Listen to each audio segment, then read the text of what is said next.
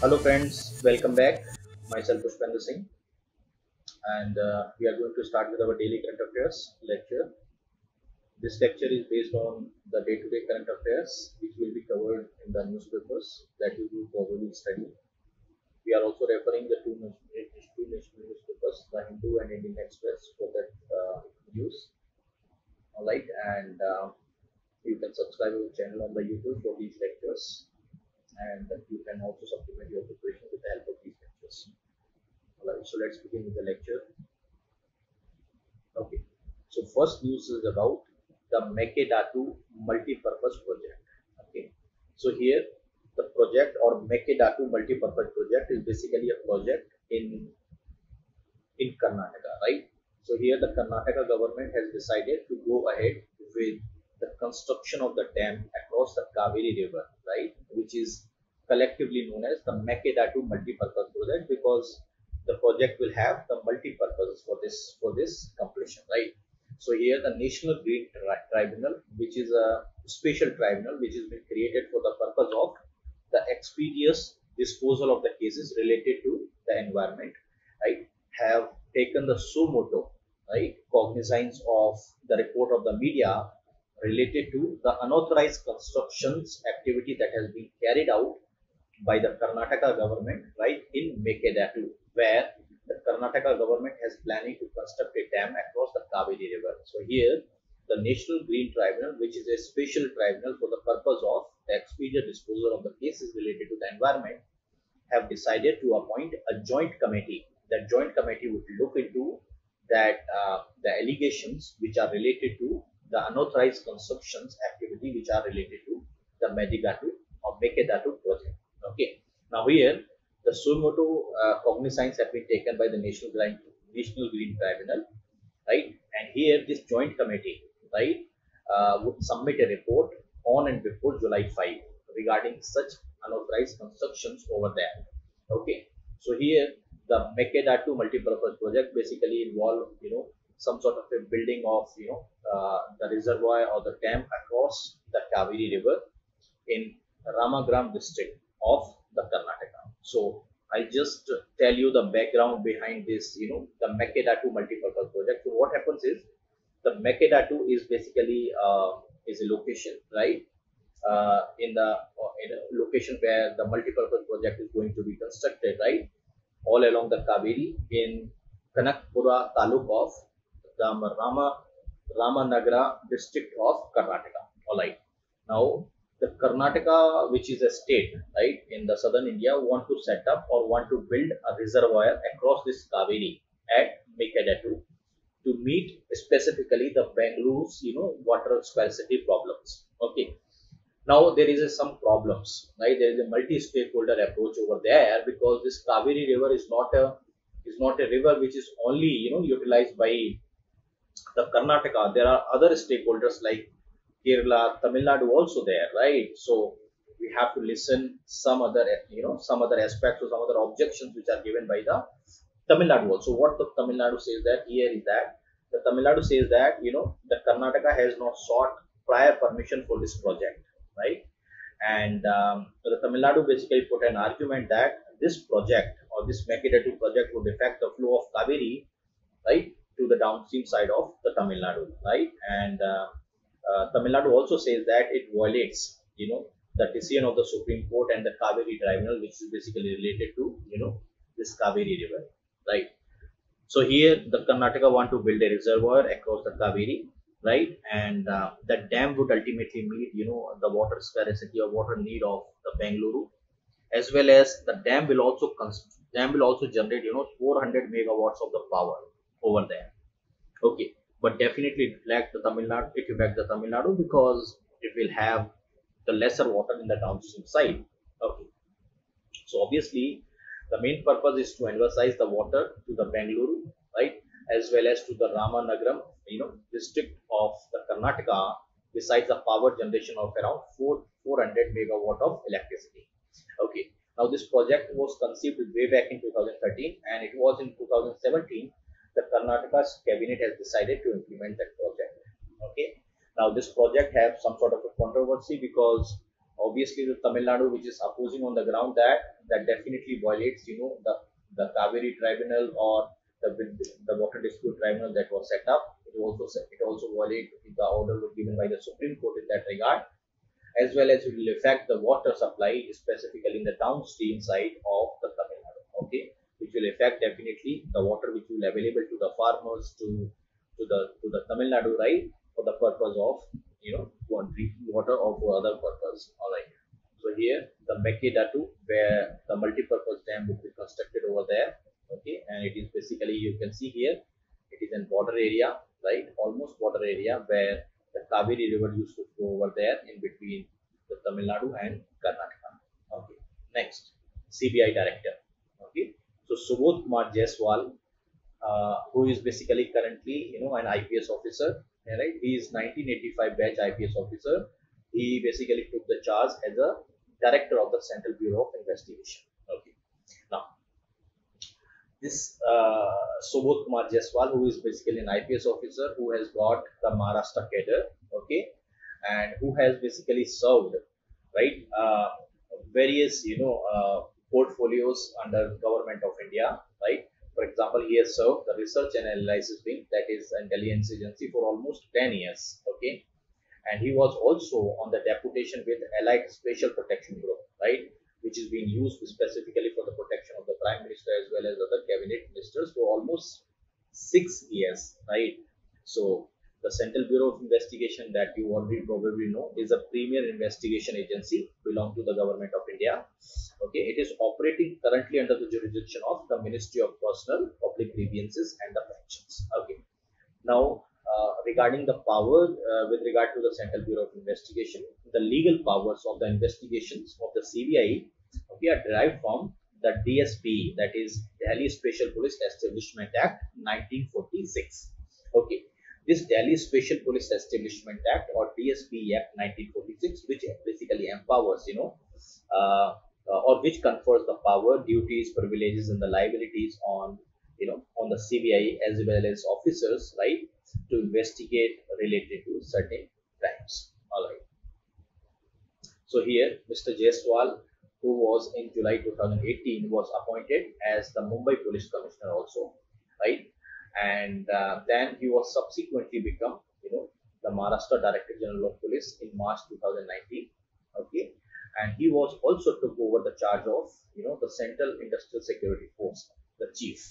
Okay, so he has had various top portfolios across the domain. Okay, and uh, he was also empaneled right uh, later as as the candidates who will be selected ultimately as a director of CBI. So uh, here the Central Industrial Security Force is basically a central armed police force that we are talking about, right? Where he was also the chief in uh, in 2021, right? And this Central Industrial Security Force was set up by the Act of Parliament, right? And the main duties of CISF, as you know, is to protect some of the sensitive buildings, right? The metros, airport security, right? The port security and etc. Okay. Now, the CBI director that we are talking about, right, is basically selected from a panel. Definitely the panel which, which also consists of uh, Mr. Jaiswal also. This panel, right, which basically, you know, ultimately the persons who will be ultimately, you know, may be appointed as a director was basically uh, was basically shortlisted by the center, right?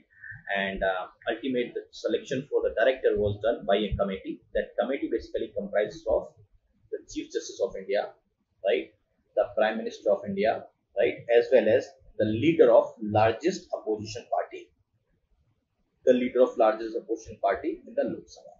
So this committee, which who basically selects the CBI director consisting of the Chief Justice of India, the Prime Minister, as well as the leader of largest opposition party in the case of Lok Sabha. All right. So he is Mr. Jaiswal or SK Jaiswal, who is currently been appointed as a director of CBI. Next, the intermediary guidelines and the digital media ethics code. Now here, I'll, I'll, I'll tell you the news that this intermediary guidelines and digital media ethics code now that can came into force, right? This rule will be applicable to the social media platforms like you have the Facebook, right? Twitter, right, as well as other digital new, news outlets also. So here for those intermediary, certain you know uh, the digital media ethical code is being implemented. Now let me give you a brief background about that one. Okay, first let us understand these two uh, lines also, then we'll go to the background. So here the guidelines which is being you know uh, imposed or which has been implemented by the Ministry of Electronics and Information Technology, Government of India, right, has asked all the social media platforms, right, be it Facebook, Twitter, or whatever it may be, that to set up immediately the grievance redressal as well as the compliance redressal mechanism, right, so that right, uh, so that any sort of grievances can be redressed on the time, right, and uh, these rules basically mandated a social media platform to immediately appoint a resident grievance officer for the purpose of you know uh, you know alleviation of the grievances, the chief compliance officer, as well as the nodal contact person in the case of you know uh, is, uh, you know putting their their grievances with that person, right? So here the Ministry of Electronics and Information Technology has asked all these platforms, social media platforms, the digital media platforms to immediately you know compliance with that rules, right? To submit a monthly reports on the complaints which is received from the users as well as they should also submit the action they have taken with that regard of complaints. Now, let me give you a brief background about that one. Say here the Ministry of Electronics and Information Technology have recently been notified the new rules.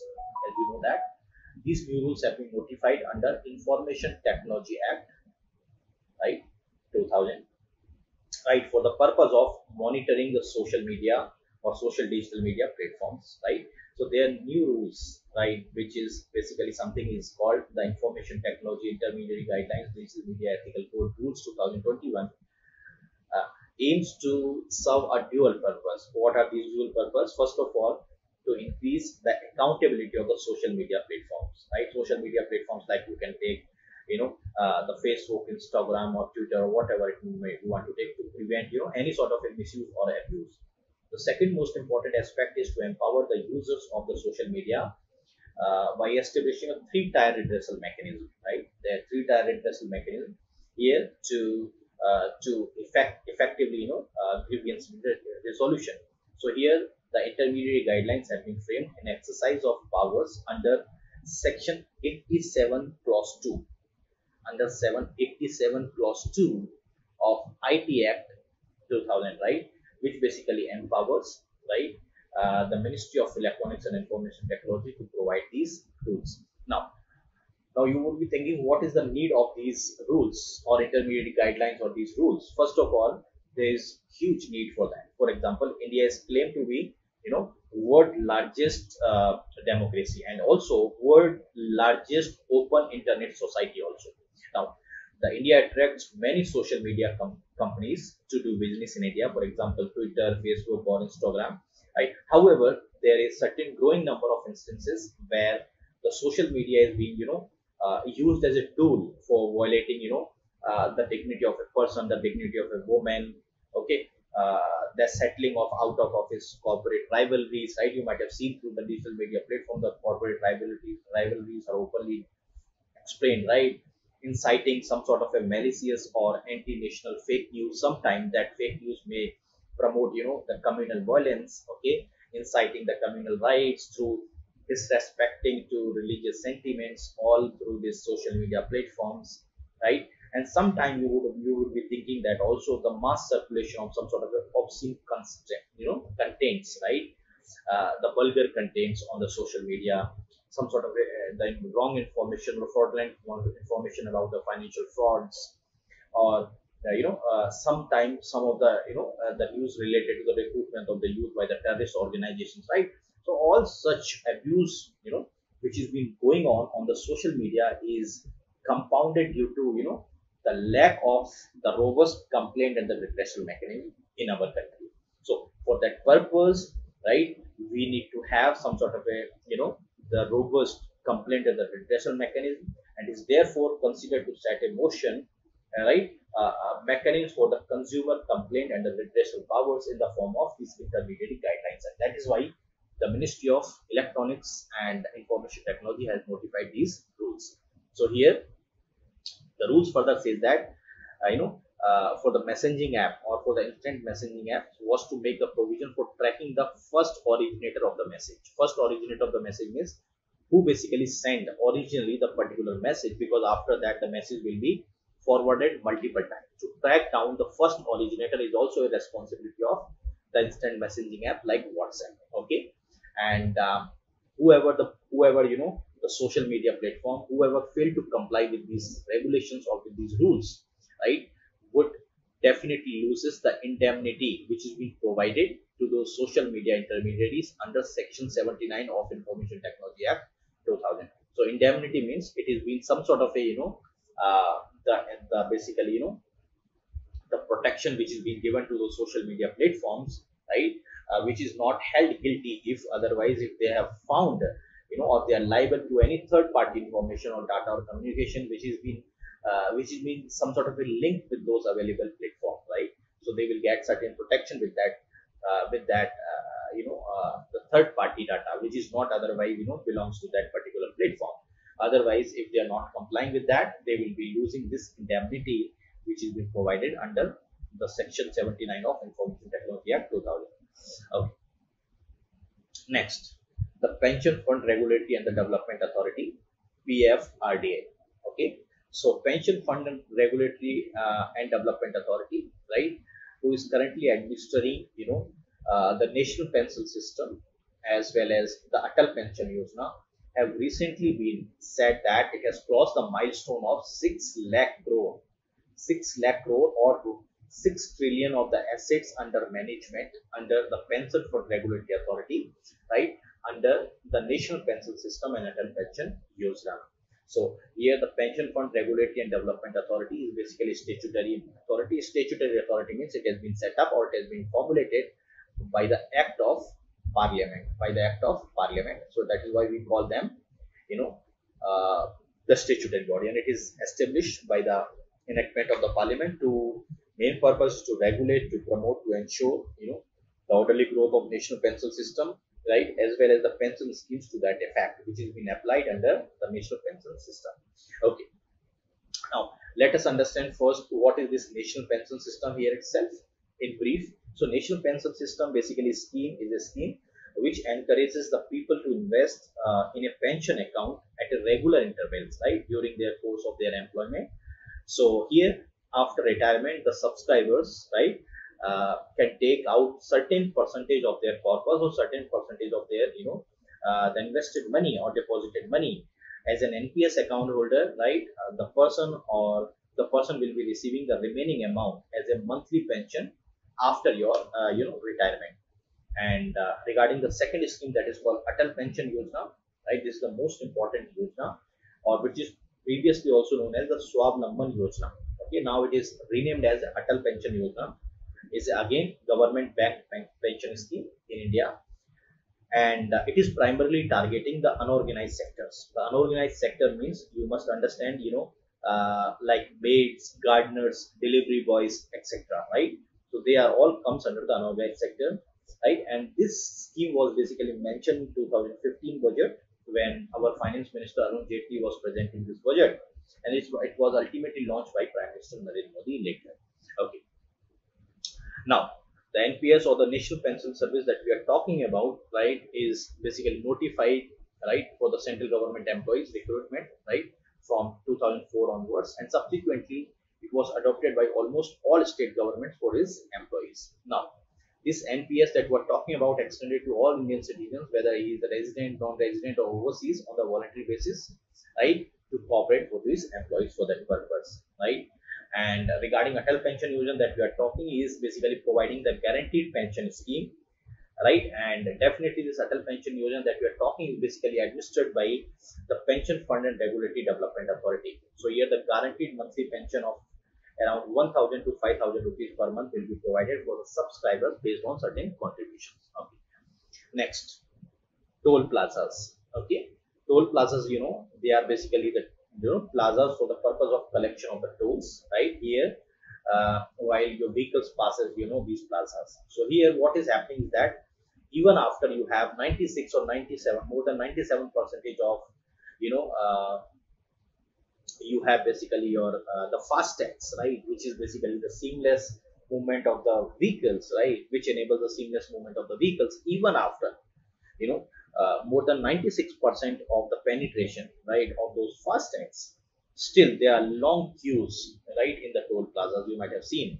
So here the you know uh, here what is happening is that government has decided right that in order to have the seamless movement of vehicles right the government has decided that if there is a delay if there is a delay of that movement of the vehicle and there is a queue for more than 100 meters 100 meters right then then these vehicles will be just simply allowed to be passed without paying the toll without paying the tolls until the vehicles their queue would be 100 meters. That means there is a time there is a the you know the limit that is 100 meters. So 100 meter will definitely say you that the queue can be up to 100 meters only. It cannot be more than 100 meters. If at any point of the time if the queue is more than 100 meters right until the queue remains up to 100 meters all the remaining vehicles will be allowed to pass without paying the toll tax at the toll plazas. So here it is basically you know passing these guidelines in order to have the seamless movement of the vehicles along the toll tax or toll plazas. Here this guidelines will also ensure that the service time at particular toll plazas should not be more than 10 seconds per vehicle but it is taking longer time sometime even if you have the fast tags also. So this new guidelines will ensure the seamless flow of the traffic right? Right? And definitely the queue will not be more than 100 meters. If it is more than 100 meters the toll plazas will remain will allow the vehicles to pass without paying the tax toll without paying the toll until the the the queue is basically up to 100 meters. So that is what is there right so here you must understand that almost most of the toll plazas are basically having the mandatory fast tag, 100% fast tag, right? There is no waiting time for that fast tag, but still there is a long queue for that purpose right? And the vehicles are basically queue for more than 100 meters right due to some reasons. now if this happens again right the vehicle will be allowed to pass without paying the toll till the queue comes within 100 meters. That is what is something very significant so that it ensures that the waiting time for any particular vehicle should not be more than 10 seconds okay? And you must understand the national highway authority of india have successfully transitioned the 100% cashless tolling systems right? Where it was almost initiated from february 2021 where the fastag penetration right at NHAI toll plazas have reached 96% right? And have achieved more than 99% at certain plazas also and people are basically increasingly using this fastags as you know because of this covid-19 pandemic also because people are basically would, would want to you know avoid the direct contact with, with, with basically the operators who are sitting over there at the those plazas right for the exchanging of the notes or you know money for that purpose. Okay. So here once a store plaza which is operated by the national highway authority of india. Okay. Next the tulsa race massacre the Tulsa race massacre is basically the massacre related to the blacks or the black people in Oklahoma. Oklahoma basically is a state in the USA, right? It was happened in 1921 when the white the white people basically massacred the black people, right, or the black locality. They have completely burned down the black locality in 1921. It was total massacre when it was related to you know the apartheid the apartheid policy or the racial discriminatory policies of the government.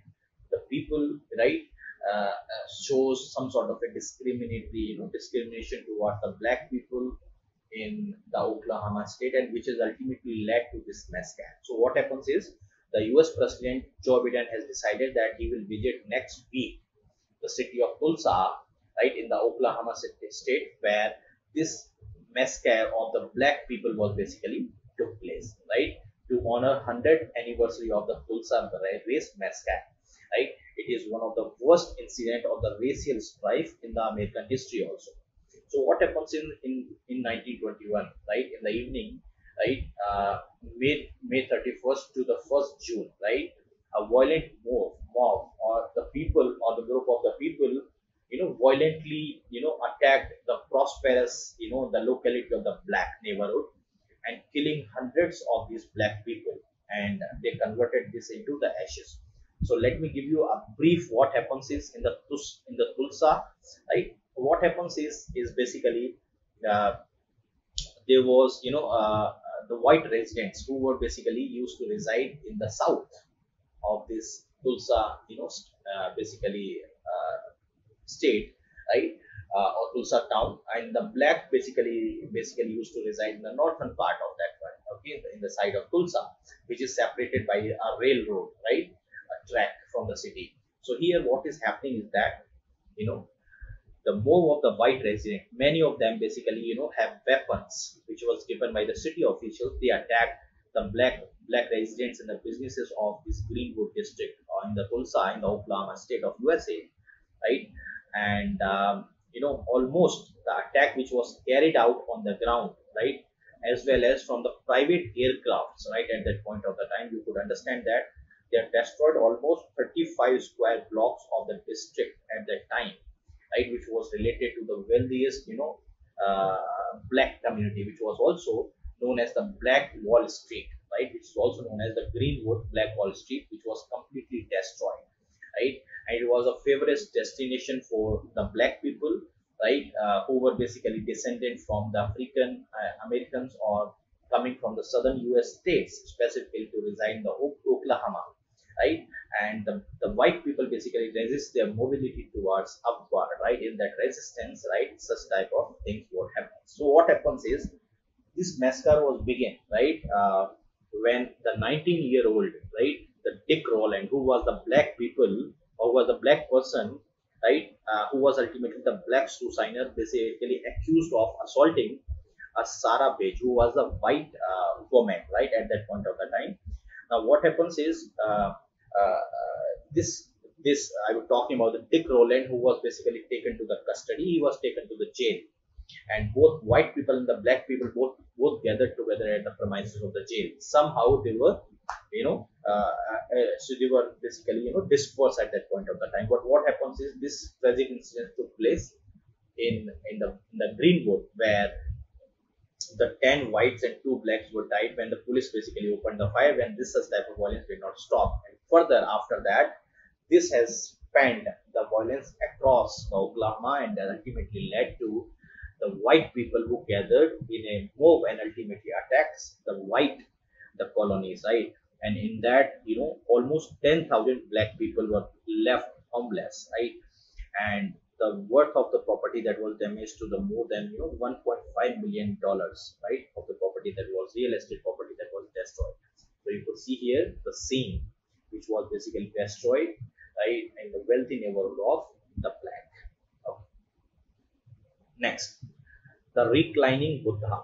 See the reclining buddha is basically a buddha who is basically you know uh, you might have seen also the statue where the images of the buddha is shown right? Where he's the buddha is simply lying on his right side right? Just like we also we also lie okay? So he just lie on the right side okay? Now you can see if i show you the picture. So here the buddha is just lying on the right side. So here right?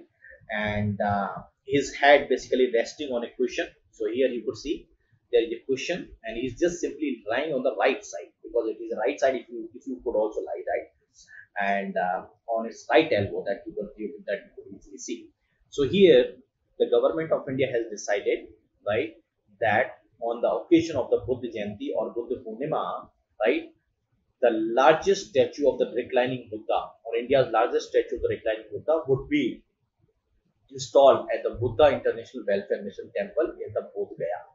But it was it was delayed because of the COVID-19 restrictions. So this reclining Buddha statue could not be installed because of this COVID-19 pandemic.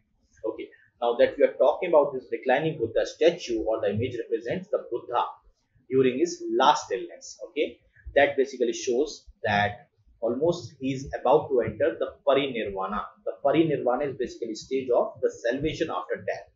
Okay, and only the enlightenment people or enlightened people like Buddha could, could, could basically attain that salvation or could attain that parinirvana. So roughly you can say in the in the Buddhism, the word called the parinirvana that we are talking is basically is a commonly used term that is nirvana after death. That is the nirvana after. Okay. Now, which occurs, you know, upon the death of someone who has attained the nirvana, who has attained the nirvana during his or her lifetime. So it implies simply that, you know, uh, you know, the release from the samsara, the release from karma, the release from revert, as well as the release of all dissolutions, all dissolutions. Okay. So in the Maya, in the Mahayana Buddhist festivals, or one of the you know uh, the branch of the Buddhism, right? That is Mahayana Buddhism. In that festival, that marks the death of the Buddha. Okay, and uh, he died basically in the state in the state of the meditation and attained the nirvana. That release from you know that releases the Buddha from the cycle of the death, birth, right? All sort of illusions, karmas, and etc. Okay. So here the reclining Buddha that we are talking is basically first depicted in the Gandhara art right, in the period of 15th BCE to 75 AD. Okay, the Gandhara art that we are talking here in this paragraph, right, it was basically a Buddhist visual art, right, that was developed uh, at that point of the time in northwestern Pakistan as well as the eastern Afghanistan. Okay, and here the largest reclining Buddha in the world is 600 foot. The Winsein Tawya Buddha built that has been built in you know Mawlamyine in the Myanmar in 1992, right?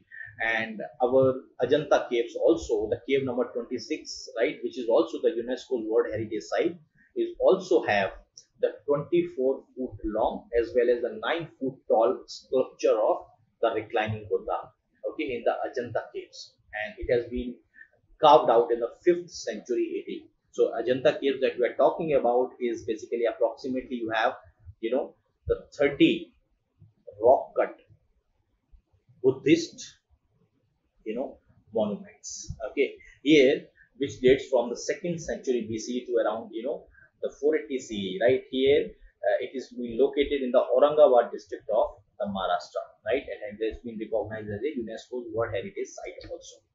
Okay, here you could see the reclining position of Buddha. Okay, next the marriage trends. So here Uh, right the Lokniti CSDS youth studies basically gave the data related to the marriage trends in our society. So here let us first understand what is this CSDS. CSDS full form is the Center for the Study of Developing Societies. Okay, it is a Center for Study of the Developing Society it is an Indian research institute for the social sciences and the humanities, right? It was founded in 1963. The main purpose of this one is to basically to do some sort of research in the social sciences and the humanities.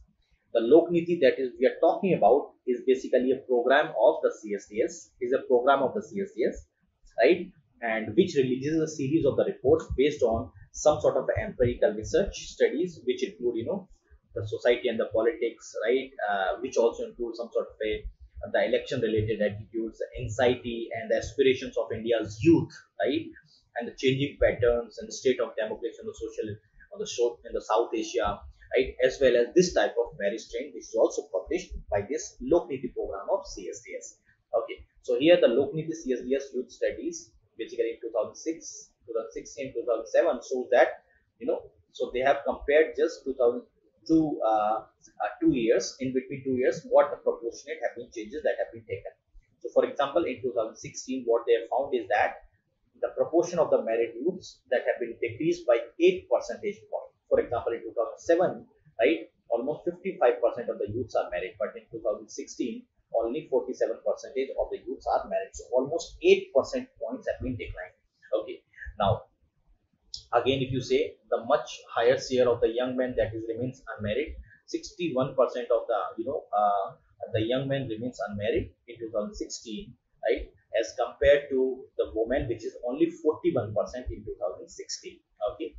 And uh, the main reason of this remaining unmarried is because of the educational attainment right? Which is also the most important factor okay? And uh, it is because of the successive level of the education they have moved in their educational attainment and also right uh, one such fact that was declined that was also affecting is that online dating that has been started in the Indian context also the growth of social networking and the matrimonial sites, right? Because of that one, even arranged marriage still preferred choice. 84% of the married youths in 2016 say that their marriage were decided by the family. So that means this was the arranged marriage, 84% of the youths have been done. The arranged marriage that was decided by the families, only 6% you know people or 6% youth reported that they have chosen their partner by self. Okay, and uh, and here 31% of the youth says that uh, uh, you know the the parents have greater influence on the decision of their marriage right? Even this this influence was greater for the women. Almost 35% of the women says that the parents have the greater influence or parents have the greater say in terms of their marriage. Okay. Now this youth study 2016 also says that this marriages which was mostly right uh, within caste and the religion but still out of caste and religion is not accepted as the matter of the arranged marriage. Okay. And here the among the married youths only the few only the few married youths have opted the intercaste and the interreligious marriage. For example intercaste marriages consist of only 4% and interreligious marriage consist of only 3% okay. And here the most prominent if you could see the love marriage the intercaste love marriage is consisting of around 34% and interreligious love marriage consists of 12% so to sum up this Lok Niti or CSDS basically says that you know the youths are marrying late because of some sort of a changes in the uh, the institution changes in the education pattern right and arranged marriage is still a preferred choice among the youths and uh, the marriage institution is still intact right? But the marriage trends are the marriage trends are basically within the caste or within the religion. Out of caste and out of religion is not much accepted in our society right? So this attitude remains attitude related to the marriage remains right within the boundaries of the traditional thinking that means within their own caste within their own religion. That is the uh, the recent trend also reflect the traditional thinking also. All right so here the the married couple okay. Next. The tobacco smokers. So here some data related to the tobacco smokers have been come. So uh, the data says that this this uh, this report or this data came from the Lancet the Lancet General, right, which is the topmost journal in the medical field. So Lancet in General says that the number of smokers worldwide have increased to 1.1 billion. So you could think that in 2019, the number of smokers consists of 1.1 billion, right? And uh, the tobacco smoking, smoking basically causing around 7.7 million deaths worldwide. That means almost one in five deaths in the males that is happening in the worldwide because of the tobacco or because of the tobacco smoking okay now here what you what is the news or what is this report basically published by the Lancet is that the the youth which is basically in the age of 15 to 24 years or less than 25 years right? Almost they say that there is very high rates of the smoking among the young people right? And uh, over half of the countries worldwide shows some sort of a no progress in reducing the smoking in the age group of 15 to 24 of the age and 89% of the new smokers also addicted by the age of 25. So that is also alarming that almost 90% of the smokers are addicting before the age before the age they get you know age of 25 and we have in 2019 at almost 155 million individuals in the age of 15 to 24 years who basically are tobacco smokers and out of 155 millions the china is topping in these smokers so China is having 26.5 million smokers, followed by India, which is the second slot, which is having 19.8 million smokers, followed by Indonesia, which is having 9.91 million smokers. Are these top three countries where the largest number of tobacco smokers are there in the age group of on the age category of 15 to 24 years in 2019, right? So you could see here that is almost accounting to 56 percentage of the tobacco smokers in that age group of 15 to 24 in the world. That is the highest level of prevalence in China, India and Indonesia. And if you could see in terms of your gender wise, uh, in terms of smoking this tobacco, that is being most preferred among the males, right? So males basically smoke this tobacco, right? Almost 20.1 percentage of the males in the age, age group of 15 to 24 basically smokers or tobacco smokers. And if you consider the female in the age group of 15 to 24 only 4.95 percentage of females are basically the chain smoker or smoking the tobacco. Okay. And here in 2019 what is the trend is that almost 1.7 million deaths are occurring from the ischemic heart disease because of smoking because of smoking right? 1.6 million deaths are occurring again because of smoking from from chronic obstructive pulmonary disease and 1.3 million deaths are occurring again from some sort of a smoking related activity from tracheal cancer from bronchus cancer from lung cancer. Almost nearly 1 million deaths occur from the stroke also. That is something also associated with the smoking also. This study that we are talking about is published in the lancet and the lancet public health journal by the global burden of disease collaboration. Now let us understand a brief keywords here. What is this? Ischemic heart disease. See ischemic heart disease is basically a condition of recurring chest pain. Okay if you have the recurring chest pain or the discomfort okay that occurs when a part of heart does not receive enough blood okay? Uh, so this condition occurs most often during exertion or excitement when the heart require you know the greater blood flow okay the second is you know your chronic obstructive pulmonary disease. This chronic obstructive pulmonary disease is also sometimes called as the chronic inflammatory lung disease because that causes you know some sort of obstructed airflow from the lungs. Okay? The symptoms of this type of chronic obstructive pulmonary disease including the breathing difficulty you know cough the mucus uh, production or some sort sometimes wheezing also. Okay? Uh, that is what we are talking and here what the lancet is there the lancet the lancet is basically you know a weekly peer review review medical journal. Okay it is among the world oldest and the best known journal right or the medical journal in the world. It was founded way back in 1823 by the thomas Wakley who was basically an english surgeon right? And the second is basically that we are talking about the lancet public health journal right so building on the foundation of the lancet as a champion of the public health research this monthly journal that we are talking about, the Lancet Public Health Journal, is, is basically a monthly journal which is committed to uh, to publish some sort of high quality original research articles, to review editorials, to comments, and to correspond their contribution related to health, related to public health practices, as well as it will definitely help the policy making worldwide in that respect also. Okay, next Ayush. So here the Union Minister for the Ayush, Mr. Kiren Rijiju, right, have launched the Ayush Clinical Case Repository portal as well as the third version of Ayush Sanjeevani app, right, on the May 27, 2020, 2021.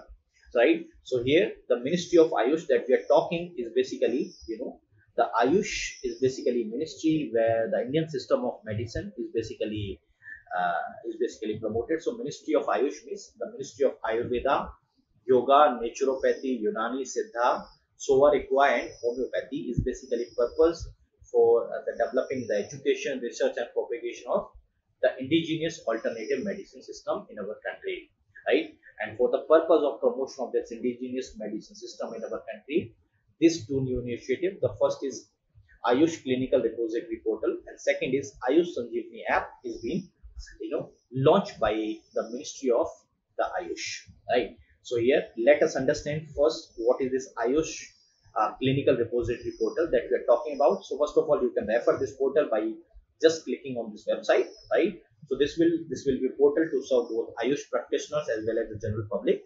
So here the Ayush clinical case repository portal is conceptualized, right, uh, and developed by the Ministry of Ayush as a platform to support both Ayush practitioners as well as the public. Okay, this portal aims to portray the strength of the Ayush systems for the treatment of various disease conditions, right? So here the Ayush Clinical Repository Portal or ACCR, you know, welcomes the Ayush practitioners from all over the world, right? To enroll and to share the information, right, about successfully treated cases for the benefit for all. Okay, so cases who uh, you know whose details are posted here will be screened by you know by the experts and will that will be uploaded to all you know uh, subject for the review. So here the Ayush practitioners and invited are invited to contribute here so that this their successful approaches could be adopted by them uh, in terms of the treatment for various patients can be shared with others also for the benefit of all. So this may also help us to spread awareness among the public, right? And uh, this may also trigger through the process in which other practitioners also would adapt these practices, right? If they're found to be successful. So public can also go through these cases which are published on the portal, okay? And this public understand the strength of the various Ayush systems in the treatment and various ailments. And uh, that is what that is what the main purpose of this Ayush clinical repository portal. And the second that is being uh, that is being that we are talking about the Ayush Sanjeevani app. This is the third version that the Ministry of Ayush is going to be you know launch, and it is being available on the Google Play Store or iOS. Right. This version basically facilitates some sort of a significant study or the documentation related to the efficacy of selected Ayush interventions or drugs. For example, recently Ayush 64 and the Kabasura Kudineer medicines for the purpose of COVID-19 or mild and uh, asymptomatic COVID-19 treatment will be there in the market. So for the purpose of their study documentation related to their efficacy, this you know Ayush Sanjeevani app is being basically launched by the Ministry of Ayush. Okay, so here you have other milestones, right? Where the Ministry of Ayush is launching the Ayush clinically, you know, clinical case repository portal as well as the Ayush Sanjeevani app that is the third version that is being launched today at you know by the Ministry of Ayush or by the Union Minister of Ayush, Mr. Kiren Rijiju on 27th of May 2021. All right. So that's all for today. Thank you very much. Please be safe, be at home, right? And uh, we'll meet again tomorrow. Thank you very much.